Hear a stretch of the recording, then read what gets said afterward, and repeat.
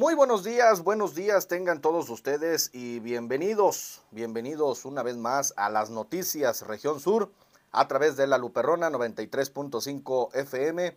Buenos días tengan todos ustedes, mi nombre es Daniel García, saludo con muchísimo gusto a mi amigo y mi compañero Milton Iván Peralta que también nos acompaña aquí en micrófonos. Milton, ¿cómo andas? Buenos días. Muy buen día, Daniel, a todo el auditorio. Gracias por estar aquí con nosotros este martes para platicar en torno a las noticias más importantes que surgieron el día de ayer. Mucha policíaca y muchas personas fallecidas, lamentablemente. Eh, lamentablemente, sí, así es. Y bueno, me atrevo a decirlo, eh, fue un lunes eh, activo, pero, pero sí con un, un saldo no, no favorable. Así es de que Toda la información es la que, de, las que se las vamos a presentar en unos instantes más. Recordarles que también usted se puede poner en contacto con nosotros a través del 341 412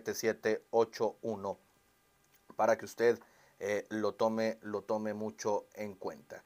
Y también a través de nuestras eh, redes sociales estamos transmitiendo totalmente en vivo en las eh, plataformas que conforman también esta eh, alianza, esta colaboración en Diario El Volcán, así como en Enlace Zapotlán. Antes de irnos a la información del clima, eh, tenemos un aviso que eh, brindarles a todos ustedes. Esto es por parte de Zapasa. pues fíjense que por reparación de la red de agua potable en la calle 20 de noviembre, entre Antonio Caso y 16 de septiembre, en la colonia 16 de septiembre, se interrumpirá la circulación de vehículos, por lo que se pide a los, automovilistas tomar rutas alternas, a los vecinos tener precaución con la maquinaria que estará trabajando. Recuerden que los eh, números que proporciona el sistema de agua potable y alcantarillado de Zapotlán Zapasa pone a su disposición unos números de reporte que es el 341 41 2 43 30 y al 341 197 16. Este último con eh, línea de WhatsApp para que usted lo tome mucho en cuenta. Vámonos ahora sí a ir con la información del clima.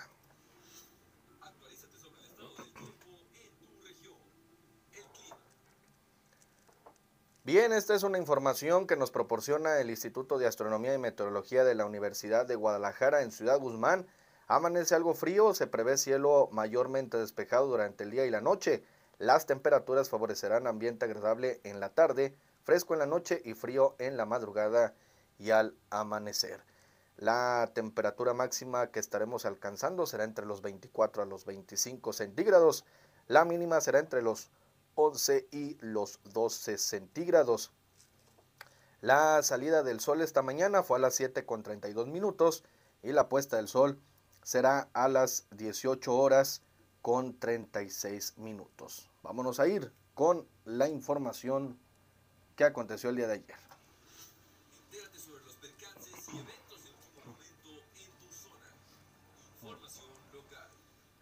Milton, tenemos noticias porque ya lo comentabas al inicio de este espacio noticioso. Milton. Así es, eh, para aquellos que van a ir a a Colima por la autopista, pues resulta que está cerrada porque hubo un accidente hace un rato en el kilómetro 116, sentido Colima, que viene siendo la altura de Tuspan, en el punto conocido como Piaya, donde dos trailers chocaron y está cerrada ambos carriles, así que está cerrada la autopista yendo hacia Colima a la altura de Tuspan.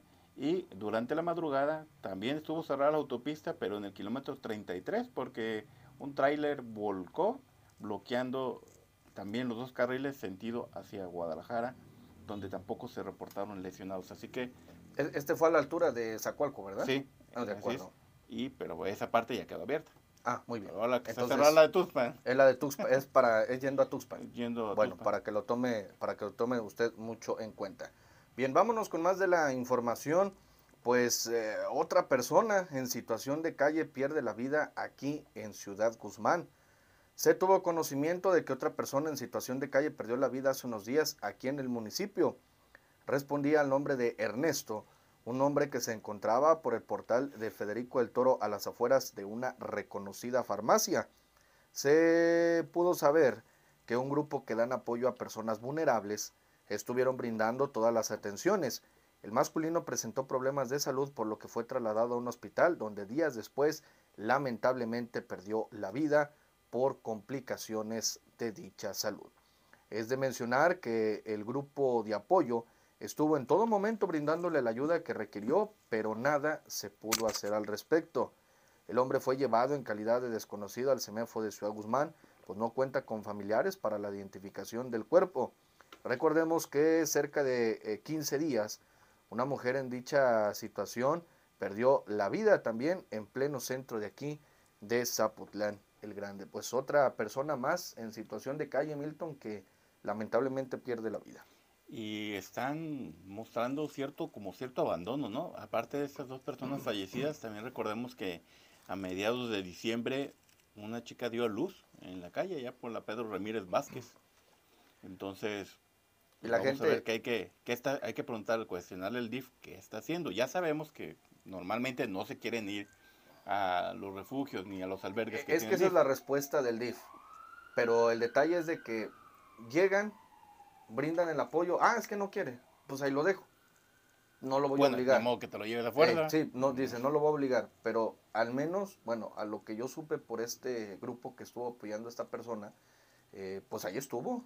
Estuvo y estuvo en constante, eh, estuvo constantemente. Entonces, pues ahí... También el albergue que está del DIF por Lerdo, en la esquina de Lerdo y Morelos, está cerrado. Está completamente cerrado. Está cerrado todo. Esta administración ha estado cerrada, entonces... Que desde la pasada también, ¿no? Ya desde que se abrió. Bueno, es que también lo cerraron por el COVID. Es que cayó, de, cayó lo del ya No, ya no volvió a abrir, entonces habría que ver qué está pasando, qué, qué están haciendo en realidad. Y hablando precisamente de COVID, el día de ayer se, bueno, se reportaron el, eh, dos casos positivos de empleados de ahí del, del ayuntamiento. Eh, la cuestión a través de redes sociales la manejaban un poco mediática. Eh, cabe decirlo, Milton, que este, pues a pesar de que ya están, ya están las vacunas, aún así no, no hay que quitar mucho el dedo del renglón. Obviamente se aplican los eh, protocolos correspondientes, pero hasta el momento el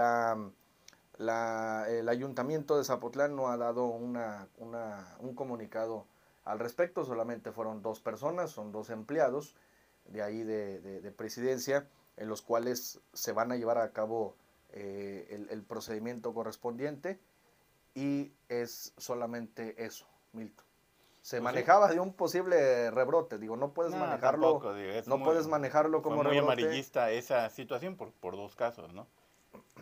Y ya. Sí, no puedes manejarlo como rebrote si la Secretaría de Salud tampoco no te ha emitido algo al respecto. ¿eh? ¿Qué más tenemos? que está la vacunación para registrarse en el centro de salud. Hay que entrar a la página de la Secretaría de Salud para registrarse adultos mayores y personas que estén vulnerables. Muy bien, Milton. Eh, ¿Qué más tenemos? Bueno, eh, ayer, el día de ayer, muere un adulto mayor en presidencia. Este, lamentablemente, este señor fue encontrado en el suelo, en el interior de los baños que están pasando la biblioteca Juan José Arreola. Los hechos ocurrieron el, alrededor de las 2 de la tarde del día de ayer. Fue encontrado por una persona que iba al baño, quien llamó a Protección Civil y bomberos de Zapotlán de Grande, quienes pues lamentablemente ya no pudieron hacer nada por él.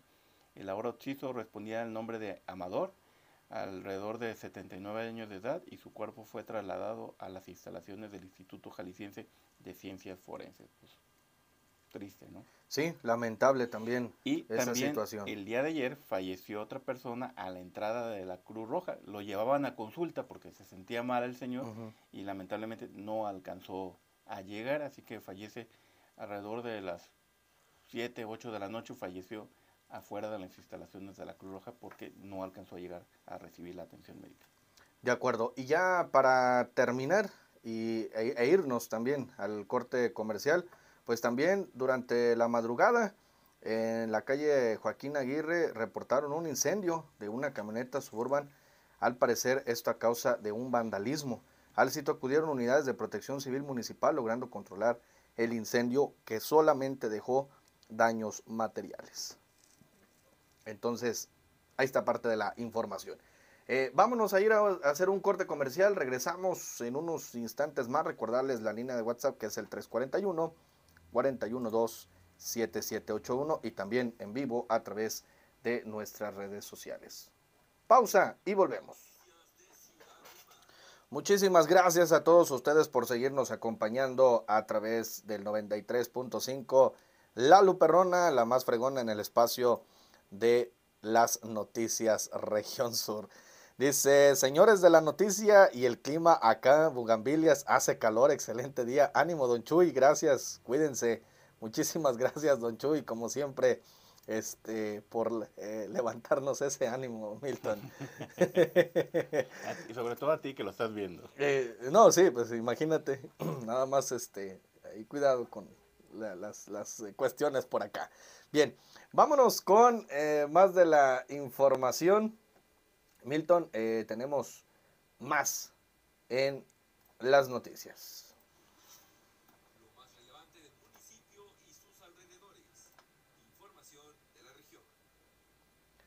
Bien, pues tenemos más notas, Milton. Así es, eh, tuvimos la oportunidad de platicar con el presidente municipal de Sayula, Daniel Carrión, que nos habla sobre lo que será el Carnaval de Sayula 2024, que él llama el Carnaval Alternativo, porque a diferencia de los demás carnavales o ferias que hay en la región, no está propiamente tan enfocada a la música tradicional mexicana, ¿no? Entonces, no, vimos, de hecho vimos un, cartel muy amplio, muy, muy variado con muchas alternativas musicales, muchos eh, gustos. metió muy poquito de la, del género regional mexicano. ¿eh? Así es, y está un poco más variado que los demás, así que eso fue parte de lo que platicamos con Daniel Carrión, que será su último carnaval que va a realizar ya como presidente municipal y también por eso le estás echando toda la carne al asador. Así que vamos a escuchar. Vamos a escuchar el audio.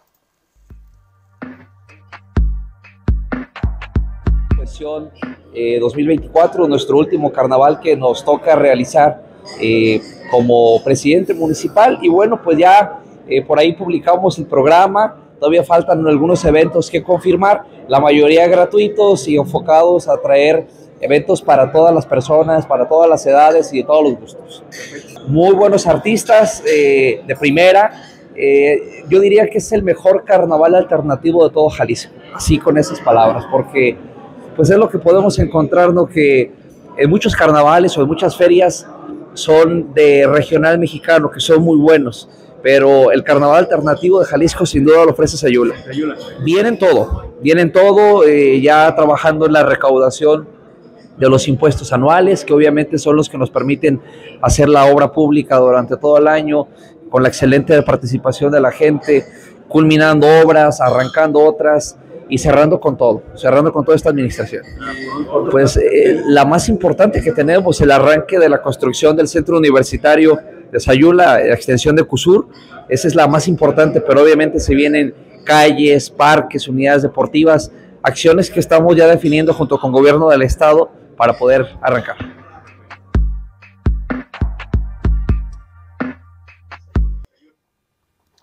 Bien, ahí están las palabras de Daniel Carrión. Así es de que pues, ya, ya se dio un, eh, una, cartelera muy amplia, de hecho ya se dio a conocer también quién será el grupo, los artistas que van a cerrar este carnaval con una eh, agrupación Milton de renombre Hash, que la verdad eh, pues va a estar interesante. Así es, pues también artistas como Yair, Danny Flow, eh, la bueno, Danny Flow, bueno. Eh, el otro día medio escuché algo y. El de Guerra de Chistes. mucho. También, Guerra de Chistes va. Niurka. Eh, va Niurka también. Niurka, entonces, pues va a estar bastante variado. Niurka va, va, a ir en el desfile de comparsas. Va a ir en el desfile de comparsas. Pero va a estar aquí. Y, creo que es algo que ha caracterizado, sobre todo con Daniel Carrión, el carnaval ha sido mucho más variado en otros géneros musicales, ¿no? Sí, claro. Recordemos que ha traído ah, va Inspector también. Ah, Inspector, sí. Pero recordemos que ha traído ni en el Conde, Maribel Guardia. El año pasado estuvieron los Cumbia Kings. Los Cumbia Kings. Así que ha estado bastante variado y le ha sido bastante exitoso, no solo con los habitantes de Sayula, sino en toda la región e incluso han venido de, de otros estados, ¿no? A escuchar y ver a estos artistas porque la mayoría son gratuitos y hay algunos eh, que cobran, pero son pues, barato, digamos, ¿no? De acuerdo, muy bien. Vámonos a ir con más de la información. Pasamos a otra modalidad informativa.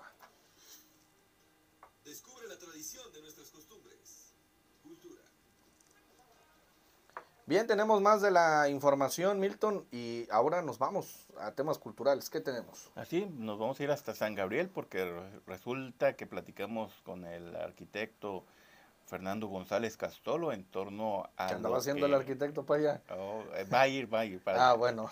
Vamos a anunciar su, su, visita a San Gabriel y por eso se van a poner de fiesta. Muy bien.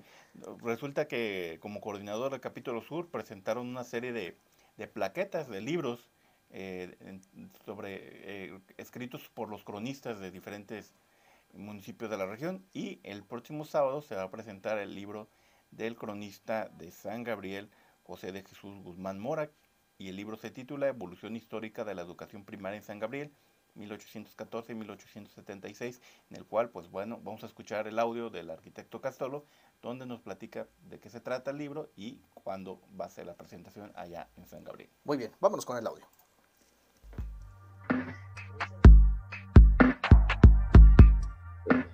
Muchas gracias por ese espacio que nos brindan les agradezco mucho que estén siempre al pendiente de lo que estamos realizando. En esta ocasión, como capítulo sur de la Benemérita Sociedad de Geografía y Estadística del Estado de Jalisco, y en coordinación con la Fundación Unvascular ALEM, vamos a llevar a cabo finalmente la presentación de las plaquetas de la colección Bicentenario de Jalisco, que fueron editados justamente el año pasado, 2023. Finalmente ya se van a presentar en los pueblos de origen de cada uno de los cronistas quienes estuvieron trabajando en las colaboraciones y en las investigaciones que se van a presentar, repito, finalmente. Vamos a iniciar justamente con esta plaqueta, que es la historia de la educación primaria en San Gabriel, Jalisco, en un periodo determinado de, de ciertos años del siglo XIX. Eh, esta aportación es del señor cronista de San Gabriel, que es el profesor José de Jesús Guzmán Mora, y eh, finalmente lo vamos a presentar allá aprovechando también el marco festivo.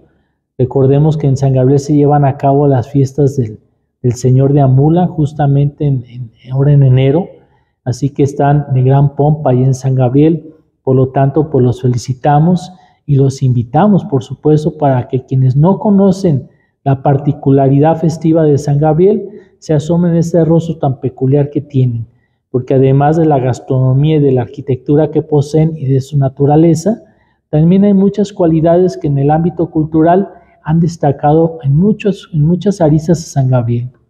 Pero bien, en esta ocasión, repito, finalmente vamos a llevar a cabo la primera presentación. Se ha programado esa para el próximo día 20 de enero, repito, en el marco festivo de San Gabriel, a las 11 de la mañana en la escuela primaria Venustiano Carranza, de ahí mismo de San Gabriel, Jalisco. La idea de esto es justamente que las personas interactúen con parte de su historia, con parte de lo que a ellos les da identidad y un sentido de pertenencia. Y es por eso que tanto el capítulo sur como la Fundación Unvascular deseamos llevar entonces a cabo eh, el acercamiento de este material a las personas que son parte de la cosmovisión particular de cada una de esas investigaciones. La siguiente presentación se llevaría a cabo posteriormente en Atoyac, donde también el señor cronista de ahí, el maestro Eduardo Ramírez Ruelas, desarrolló un trabajo sobre un personaje notable de aquella municipalidad.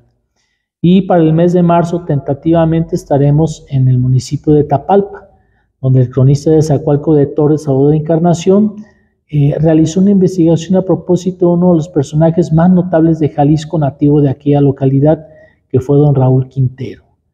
En fin, estén al pendiente de la calendarización que vamos a estar nosotros ofreciendo como capítulo sur, pero por lo pronto todos cordialmente invitados para que sean copartícipes de la plaqueta que el maestro José Jesús Guzmán Mora nos comparte a propósito de la historia de la educación primaria en San Gabriel, Jalisco. Repito, el próximo día 20 de enero, en punto a las 11 de la mañana, en la escuela primaria Venustiano Carranza. Muchas gracias.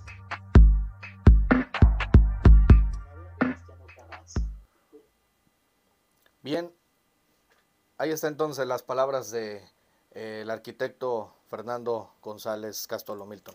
Así es, y bueno, para que el próximo sábado quien pueda ir, pues eh, vaya a la presentación allá en San Gabriel. Perfecto, bien, tenemos eh, más de los eh, mensajes ya para llegar a la parte final. Dice, una pena Daniel Carrión, tres años sin pena ni gloria, una copia de Barragán en Guzmán, en tres años no hubo obras, no hay transparencias y su equipo haciendo casas a costa del pueblo. Bueno, pues esos son los mensajes que eh, llegan a través del público. Muchísimas gracias. Por acá, a través de nuestras redes sociales, Saúl Gómez Hernández, saludos, buen día, saludos hasta la Perla Tapatía. Este, Milton, allá saludos a el buen Saúl que nos está sintonizando. Llegamos a la parte final de este espacio de las eh, noticias Región Sur. No se despegue porque en unos instantes más viene las eh, noticias ahora con eh, Ramiro Escoto en el cual pues presenta todo el panorama en el área metropolitana de Guadalajara en lo que acontece a nivel nacional e internacional. Milton, ¿algo más antes de despedirnos? Nada más agradecerles a todos por habernos escuchado este martes y desearles un muy buen día. Nos vemos mañana. Excelente, yo soy Daniel García, que tengan todos ustedes un buen martes y aquí nos escuchamos en las noticias Región Sur a partir de las 8 de la mañana. Quédense con la programación de La Luperrona, la más fregona en el 93.5 FM. Nos vemos hasta mañana. El Troquel Joyería. Federico del Toro 11 de Ciudad Guzmán, Jalisco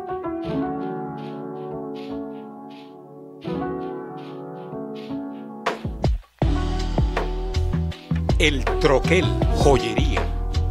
Federico del Toro 11 de Ciudad Guzmán, Jalisco.